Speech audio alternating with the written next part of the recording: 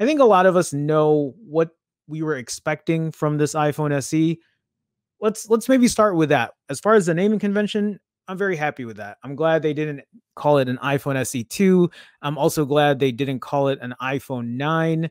You know, those are just longer names that we didn't have to deal with, not longer for iPhone 9, but a more confusing thing because if we've already had the iPhone 10 and then, you know, the the 10R and then now we're at the 11, naming it an iPhone 9 would have just made no sense. So the the big deal about this phone is the most affordable iPhone feature is A13 Bionic, which again is the latest and greatest chip that you can find in the iPhone 11 and the iPhone 11 Pro, the fastest chip in a smartphone and the best single camera system in an iPhone. For people who don't know how this 2020 iPhone SE, you know, if, if you're not familiar with it, this is a rehash of the iPhone 8. This is an upgrade from an iPhone 8. There's no Face ID, just Touch ID, a fingerprint reader with a home button like you're used to from the older iPhones. And it's pretty much the same exterior with improved guts. By guts, I'm talking about the chipset and the camera. But we don't really know what kind of camera is in here yet, but we'll kind of read and see what's going on with it. I really wish that they shared what specific camera sensor is coming into this iPhone SE, but I guess we won't know until it does come out until we start doing camera comparisons and all that kind of stuff. So the first iPhone SE was a hit with many customers who loved its unique combination of small size, high-end performance, and affordable price. So these are the main things that's going for this iPhone, for this 2020 iPhone SE. You're going to have great performance, you're going to have a solid price. We're not so sure on the camera yet, but I think it's going to be a pretty solid product overall. I think it's going to be a big seller. I think there are a lot of people who also never upgraded to the iPhone 10 because they didn't want face unlock. They wanted to keep their home button, they wanted to keep touch ID. And for a lot of people who have the iPhone 8 or the iPhone SE, this is definitely an upgrade for them. I think there are people who still have the iPhone SE who probably aren't happy with this because they don't want the 4.7 inch screen. They wanted an upgrade of another four inch screen. Mm-hmm. You hold on to the iPhone SE, the original iPhone SE, for as long as you can and hope that Apple makes another screen that's going to be less than 4.7 inches. But I don't see that coming anytime soon. I think we're at the point where screens are going to be at least, I mean, I think is 4.7 inch one of the smallest screens out there today. I believe so, including our best ever single camera system for great photos and videos. I hate when they say stuff like that best ever single camera system. Yeah, we know it's going to be your best one for this specific single camera, but it's not going to be the best, right? It's not it's not going to be iPhone 11 quality.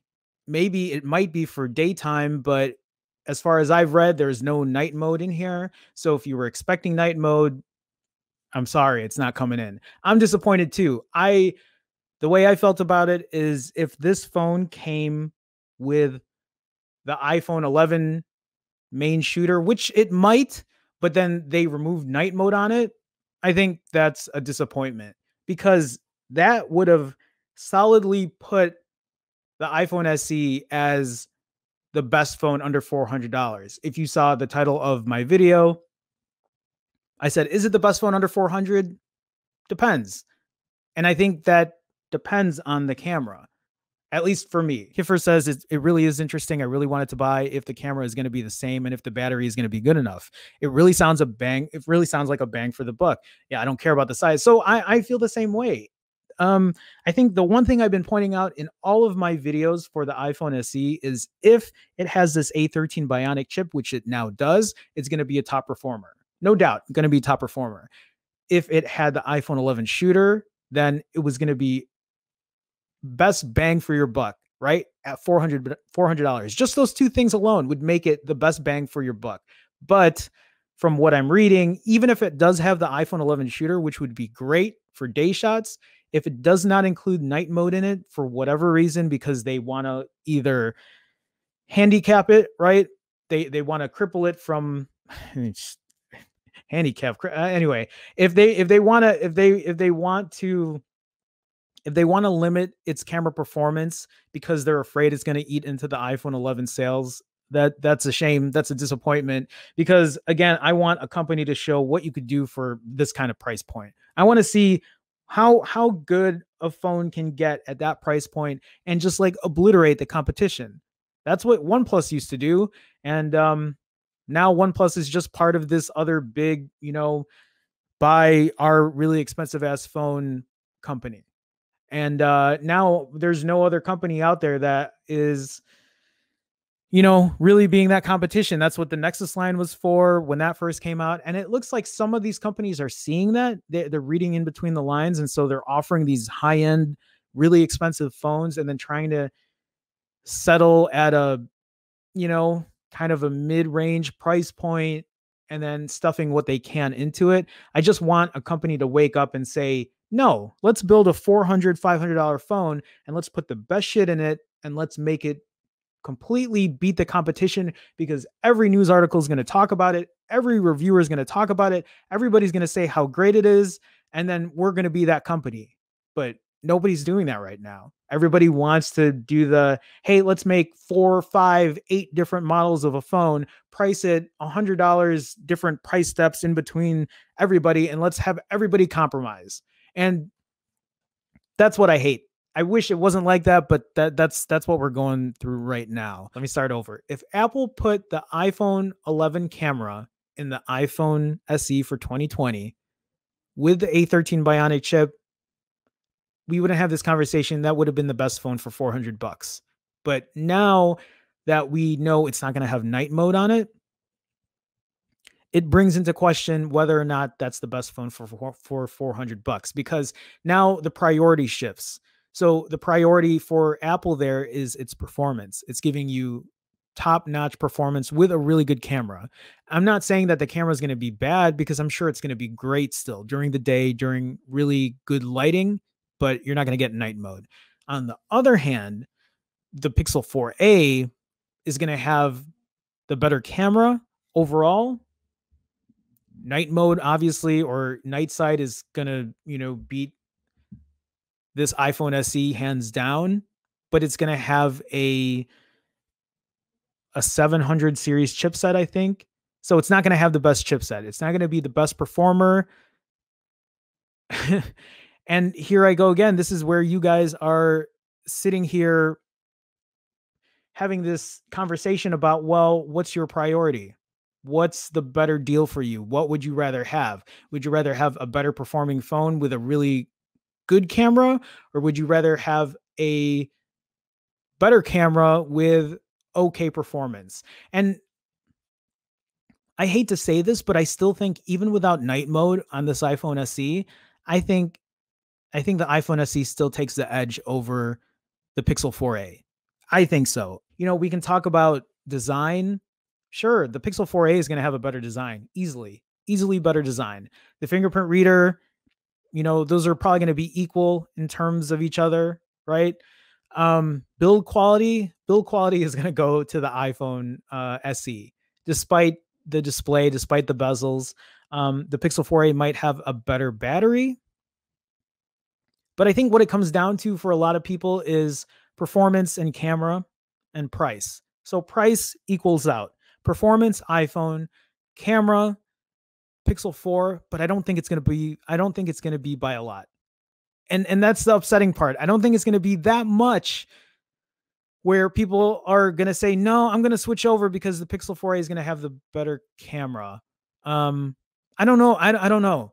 I I'm I'm I I'm waiting for this iPhone SE to come out because like I I, I want to buy it just to test out its camera at night and see how well it works at night. Let's take the two side by side. First, you've got the iPhone SE, a 4.7 inch display, a single 12 megapixel rear camera, uh, iPhone 8 ish battery life. So totally fine. 64 gigs of storage, the powerful A13 Bionic processor, gigabit LTE with dual SIM via eSIM, Touch ID, no headphone jack, IP67 water resistance, 18 watt fast wire charging, and wireless charging.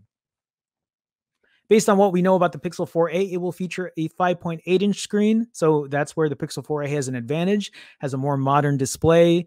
You know, it's going to be a lot less bezel. So design wise, aesthetic wise, it's going to look great. A single 12 megapixel rear camera, 3080 milliamp hour battery, 64 gigs of storage, a Snapdragon 730 gigabit LTE, no word on eSIM, a rear mounted capacitive fingerprint scanner, a headphone jack, probably 15 or 18 watt wired charging, but no sign of support for wireless charging or any water resistance rating. I totally forgot about that. And actually that's that's a that's a great point. I'm sorry, I meant to switch the screens, but whatever. That's a great point that David's making here because I forgot that the Pixel 3a doesn't have wireless charging. The Pixel 4a might not have it either. Is wireless charging a deal breaker? It's not for me, but it might be for some. Some people might have been waiting for, you know, a, a wireless charging phone if they had the iPhone SE. And now this is the time for them to get it because they're going to get a small factor phone and um, they're going to get wireless charging. They're going to get water resistance. Um, and they're going to get the newest chipset with an upgraded camera. So on paper, here we go. Sorry, let me switch this back. On paper, I'm sorry to say it, but Apple's won the day here on raw hardware, even given the few remaining unknowns about the 4A. So that's kind of how I feel about it. I feel like this is still the better buy. Am I disappointed there's no night mode for the iPhone SE? Yeah. And now I've said it, I don't know how many times I've said it in the stream. I'm disappointed it's not in there. It's a shame it's not in there. But I th- I still think the camera is going to be it's going to be really comparable to the Pixel 4a, I think. I think. I could be wrong. I want to be wrong. I want to I want to test it out at night and say um yeah, the Pixel 4a blows the the iPhone SE out of the water in terms of night shots or low light. So don't buy a iPhone SE if the camera is your number one priority. But again, now you're going to suffer in terms of performance. And eh, you might not, for most people, there might be a lot of people who might not worry about the performance. They're not, you know, heavy handed on their phones. They're not switching apps all day. Because really, that's really as far as performance goes on my phone is I switch through apps pretty frequently. And if there's lag there, then yeah, it's going to bother the shit out of me. And I'll make it known. But my Pixel 4 has been solid. My iPhone 11 Pro has been solid, and I have no issues with it. So uh, I think it's unlikely Google will bring wireless charging to its budget phone, though not impossible. And I think it's really unlikely that it'll get an IP rating for submersion like the new SE has. I could be wrong, of course, but given what we saw with the Pixel 3a, it seems terribly hard to imagine Google will be cutting into its margins deeper with its new budget phone by adding costly new features. Everything we know about the 4A suggests that it will be a modest update to a modest phone, and that just doesn't feel like enough to go up against Apple's new budget iPhone.